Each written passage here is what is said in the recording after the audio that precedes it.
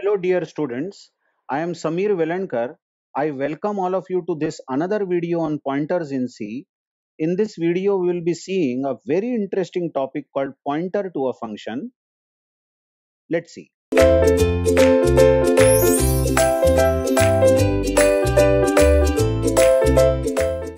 Now, you all know every variable is stored in the memory and every variable has some address. Just as every variable has an address, our program also has an address. Because where is program stored? An executing program which we also called as process. A process or a program is also stored in the ram. So it will also have some address. Hence program code is also stored in the memory.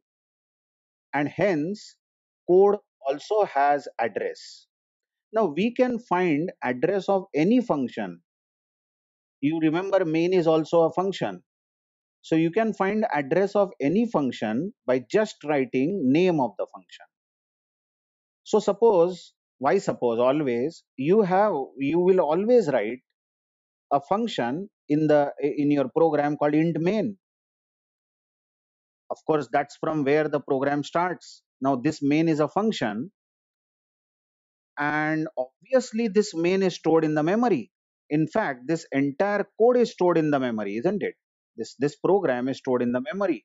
So if, if you imagine this block of memory this this is the memory then this function int f1 int x which has been written on top of the program will have some address. From where it begins maybe address is 100 and then the function continues. And also int main which is also a function will also have some base address, maybe 200, from where the function starts. So the code is there in the main memory and code always has address and you can find out where is your code located. Remember your code is under execution. That's why it is in RAM. You can find out where is your code located by just finding address of main or finding address of f1 because every function starts at some base address. Now, if you want to know where is main stored in the memory, you just have to write main, that's all. But remember, don't put any parenthesis after the function. You see what I am pointing to. See the cursor. We can find address of any function by just writing the name of the function. So the name of the function is main or if you want to find out where is f1 located you should just write f1 without any parenthesis. So name of the function will give address of that function. So let's see what we have done in this code. I have written a simple function f1 which gets some integer x and returns that integer plus 2 so its return type is integer. Of course the f1 is loaded in the ram as shown here. Then i have main. In main I am trying to print address of main. And of course, I will use percent %u because I am printing address. And only the name of the function without any parenthesis is going to give the address of main. Similarly, I am trying to get the address of f1, which is also a function, and address is printed in percent %u, and I'll only write the name of the function. So the output of this code may be address of main is 100, address of F1 is 200. So great.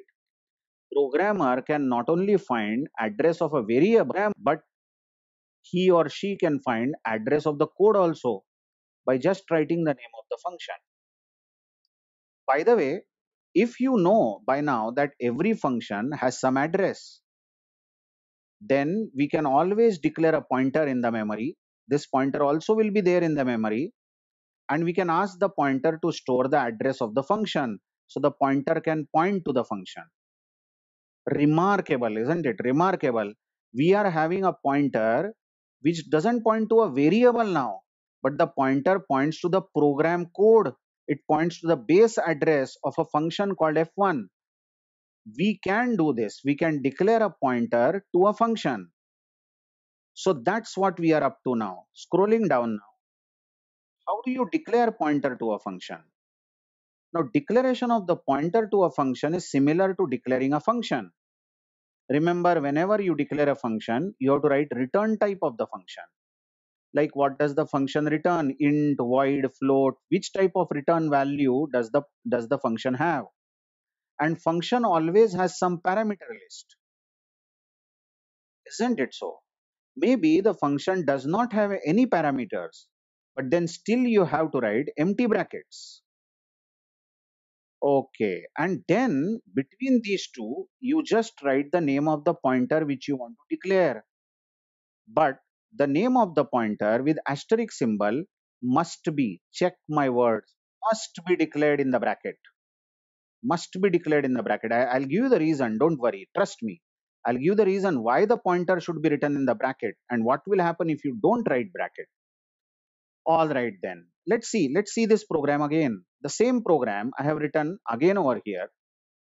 We have f1 function which returns int and which takes int parameter x. This x is added with 2 and value is returned. Then we have main, obviously we should have. And we are printing address of main by just printing main.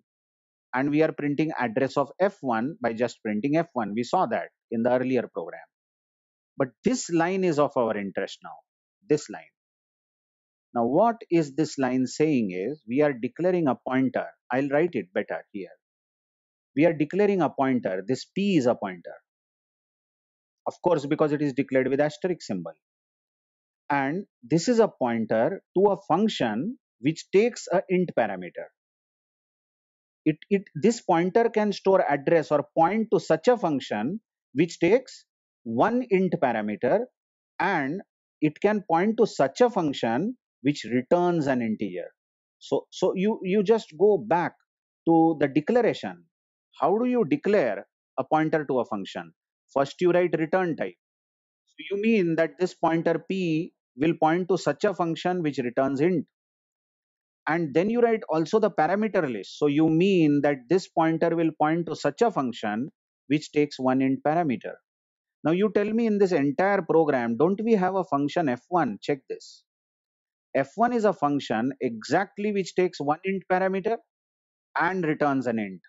See, it takes one int parameter and returns an int. So this pointer p which I am marking here can very well store address of f1. But how do you store the address? It's so easy. You just say p equal to f1. Come again. If you write only f1, the name of the function, what do you get? Address of f1 function. And address of f1 function is stored by the pointer p. I hope you got it. Going up here in the picture, this p, p was declared as a pointer to such a function which takes one integer and returns an integer. And just say p is equal to f1. If you say f1, the name of the function, it's going to give address 100 and p will store 100. So we say p now very well points to the function. I hope you got this.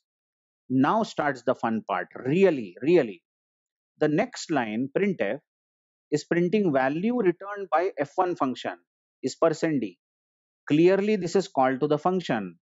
f1 is called by passing value 2 and obviously 2 is received by the local parameter x of the function and the function returns 4 because x is added with 2 and the value is returned.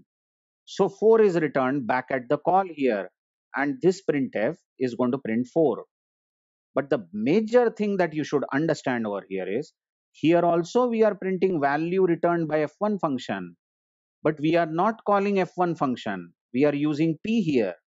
But what is p? p is the pointer to the function f1 so if you write p, it itself means calling the f1 function because p is pointing to f1. And obviously you have to pass the parameter because f1 needs the parameter. Again, this parameter x will become 2 and 4 will be returned at the call. So if a pointer points to a function, you can call the function without using actual name of the function, but you use the name of the pointer and using the name of the pointer you can access the function great isn't it the output of this these two lines is going to be 4 and 4 confirming that the same function was called Okay, let's go back to Atom software. I have kept this program ready over here. The same program which we were talking about. And here we are having a pointer. Now, can you read this very well? Yes, I, I hope so. P is a pointer. It is written in the bracket, which can point to any function which receives an integer parameter and which returns an integer. And F1 is exactly that kind of function. So P stores address of F1. Note that we have not written AND here, AND F1, because the name of the function itself is the address. So you should not write AND in this, in this particular uh, topic where we are talking about address of the function. The last two lines obviously return 4, 4. And these lines are printing. These lines are printing address of main and address of F1.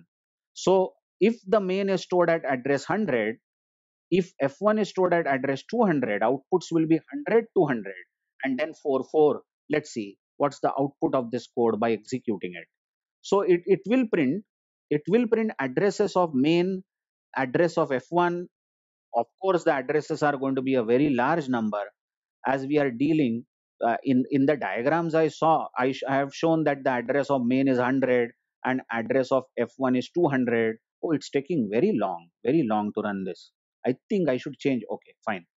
Uh, maybe that you are not able to properly see this address of main, but I, will spell out for you. The address of main actually is 4199371 and address of F1 is 4199360.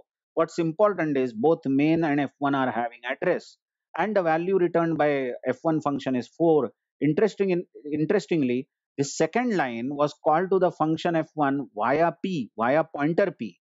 Okay. Now, more on this. Let's see, let's see. I'll just clean the slate.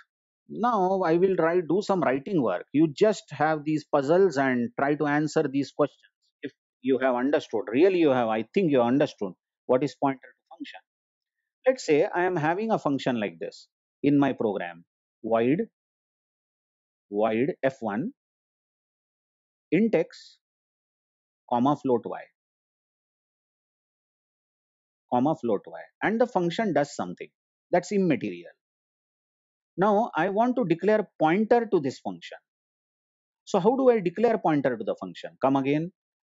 Declare a pointer in the bracket so p is the pointer this pointer is pointer to such a function which takes one int parameter and one float parameter separate them with comma and this pointer is pointer to such a function which returns nothing.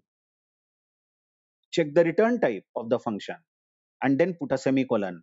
So this is a pointer to a function which takes int and float as parameter and which returns nothing.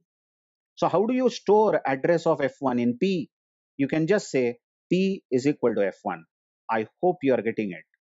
Because name of the function itself is the address. So now p, the pointer p will point to this function stored in the memory, correct or not? And how do you call the function? You can call f1 function by passing an integer, integer and float, obviously, because that are the two parameters. Or you can call f1 function by using p. p is a pointer to f1. And you can pass an integer and a float. Okay, I hope you got it. Now more, more about this. I, I will write again a function declaration and you try to understand that function declaration first of all. Suppose I have a function like this int asterisk f1 int x and the function does something. Now how do you read this function? f1 is a function which will return which will return int pointer. See this is the return type isn't it? So f1 will return int pointer means what? f1 will return address of a integer. Int pointer means it will return address of an integer. And what is the parameter taken by f1? It is index, integer parameter. Now suppose we want to declare a pointer to such a function. How would you declare? You put pointer in the bracket, let's say w is the pointer this time. What is the parameter taken by the function? It is int. What is the value returned by the function? it is int pointer semicolon this becomes the declaration of the pointer to such a function which takes int parameter and which returns an integer pointer. So how do you store address of f1 in w? You just say w is equal to f1 because you know name of the function gives address of the function. So w will point to that function.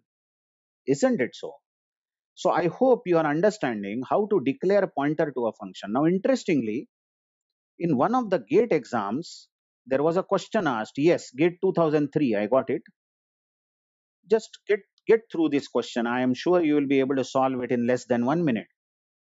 What does the following C statement declare? Int asterisk f is written in the bracket. So surely this is a pointer, isn't it? Pointer to a function. And this is the parameter. Now what kind of parameter is the function going to take? It is going to take pointer parameter, integer pointer parameter, isn't it? And what is the function going to return? An int. So what is the what is this the uh, uh, definition mean? f is a pointer to a function. Come again. f is a pointer to such a function which takes int pointer as a parameter and which returns int value. So a option I think is correct. A function that takes int pointer as argument or parameter and returns an integer. It was so simple, isn't it? It was so simple. Okay, going back to our pointer to function topic. I said that when you declare a pointer, I, I stressed on the point, when you declare a pointer to a function, you should write that pointer in the bracket, I said. Now why? What happens if you don't write bracket over there? Let's see. I hope you already understood it, but then continue with this discussion. Suppose I declare a declare a pointer like this, int pointer p pointer p bracket int. Suppose I write this. Now, is this p a pointer to a function really? No, p is not a pointer to a function. Please understand. We are saying p itself is a function here which takes int parameter and p returns integer pointer p is a function which takes integer parameter and returns integer pointer. Now, what does this mean in that case? int asterisk p in the bracket and int. Now we want now we want to say p is genuinely a pointer which will point to a function which takes int parameter and returns an int. I hope you have understood every aspect of it. Thank you very much.